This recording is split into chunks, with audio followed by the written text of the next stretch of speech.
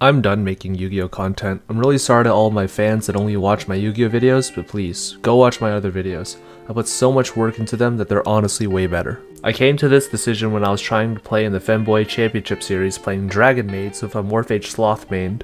Somehow I actually went 4-1 and then I was one win shy of topping the event and I could make some funny content when I encountered this player. This fucking stupid Super Quantum player would just activate the field spell every turn and because I didn't open up any hand traps I lost even though I was playing an objectively better deck. Uh, I also played uh, 42 cards. I had that going for me. And it was at this time I called this person a fucking idiot on stream and mulled it to myself for doing the equivalent of role-playing in my PMs when I just wanted a normal summon chamber and make some funny Dragon Maid deck profiles. I lost the match 0-2 because I bricked game 1 and I tilted out of my mind so hard that during game 2 I misplayed horribly. And by misplayed, I mean I forgot to activate Droll, as well as them opening 3 1-ofs and a starter. Really good game, by the way. Now, there's so much wrong with this. First of all, why am I being punished for not opening perfectly? I can understand for losing for misplays, which I definitely didn't do by forgetting to activate Droll, but opening three limited cards? What is this, fucking pussy-ass baby preschool time? Interactive gameplay is the main reason why people want to play Yu-Gi-Oh! along with the community, not just staring down unbreakable boards or the stupid unaffected Magnus Tower. I might as well just play Invoked if Konami wants people to act and play like fucking robots. I wonder if they understand that the root of toxicity and people's dissatisfaction within the game and apathy towards Yu-Gi-Oh! is the game itself. It's just not fun and it pisses people off. Let me be serious here. Yu-Gi-Oh! doesn't work as a competitive game or a fun party game to play with your friends. As of today, I've been playing for about 3 years, so I have some legitimate grounds to review the game on. Online simulators like Dueling Book and Yu-Gi-Oh! Pro are some of the most unintuitive and soulless experiences I've ever played when it comes to online play. It is a testing ground at best, not an actual substitute for real-life play. Half of the matches result in people just soullessly saying effect, activate effect, thinking, effect, for 30 minutes until somebody loses, or people just trading insults or sharking one another until a judge shows up and bans me. Yo, are we banned already? Oh, we did it! New world record! The game is filled with 1 to 2 card starters and combos that have no real room for creativity since more or less they all are completely linear except for a few certain combo decks that find new ways to floodgate you with either actual floodgates like VFD when that was in its prime or just negates and stupid interruption that has no real counterplay. People don't fucking shower. There is no actual documentation of player performance outside of Worlds points and Yu-Gi-Oh! top decks, where I won YCS Brazil with 6 copies of Necrovalley and 4 copies of Mystic Mine. Most of these things stem from just the game constantly inhibiting how good you can actually perform in a game without serious luck factor being involved.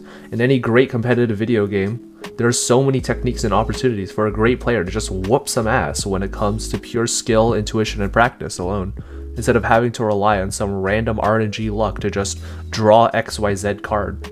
Even professional players, people who have dedicated hours, days, years of their lives to dedicating themselves to getting better at this game, they don't really even have these options most of the time, despite how hard they train and practice, just because this game wants to cater to the biggest audience possible to make the most money off of, like Call of Duty. It's just gonna stay that way forever.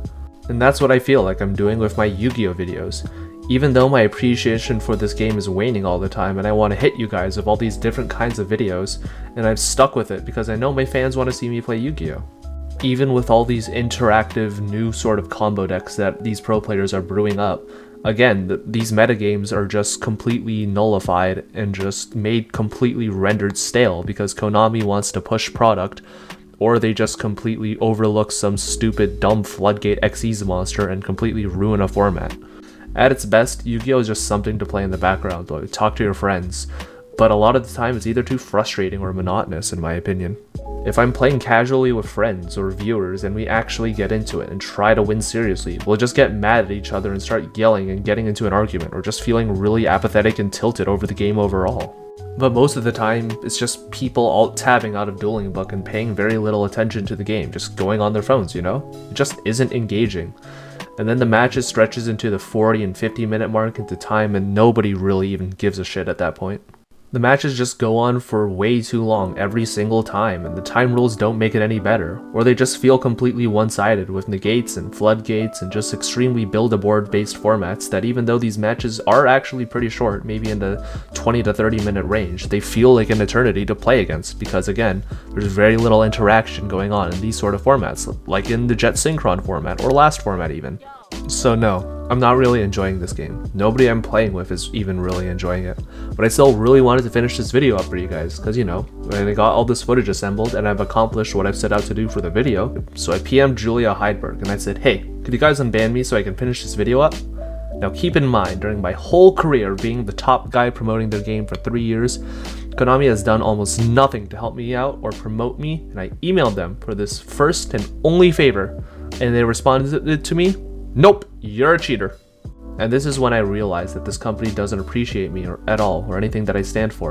I think tabletop games should be rewarding for all the time and practice that you put into them, and that you should be able to call people scumfuck bastards for playing two Red Eyes Fusion and Dino, what the fuck, and that you should be able to connect with your friends and have fun playing with them. And Yu-Gi-Oh! no longer really offers any of these things, so I'm done with it. I'm done playing Yu-Gi-Oh! I'll continue to play other games and make videos because it's my passion. I love to make you guys laugh and I want to keep making better videos and I want to represent games that I truly enjoy. And Yu-Gi-Oh! has honestly just lost my respect. It's lost the magic that used to make it so fun for me. And honestly, it really feels like it's lost its soul.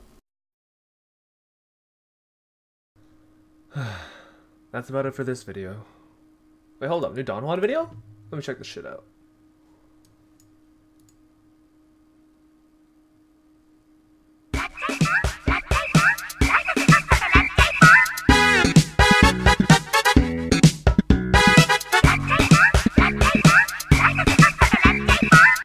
Guys, I just want a quick announcement to let you guys know that I am actually going to be returning to Yu-Gi-Oh!